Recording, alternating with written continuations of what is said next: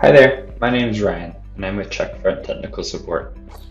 Today I'm going to be making a video to explain how to connect your Facebook business page with your Checkfront account. First thing you're going to want to do is add the Checkfront app to your Facebook page. To do this, you just go to Checkfront app and add this app. You want to refresh the page so it shows you the next button, add to my page. You want to select the page that you'd like to add it to. So I've made check checkfront test for this example. Add to page tab. Now to double check that you're, you've added to your page, you can go to um, the checkfront test page in this example. Now you can see down below, you can click on online bookings.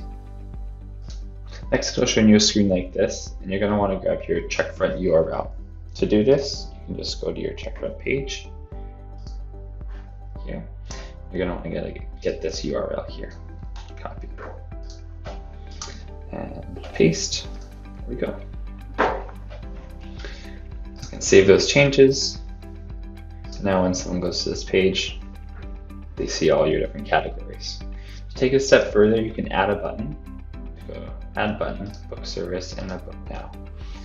For this button, you're going to want to get your customer facing page, which is the slash reserve page. Just go ahead and copy that,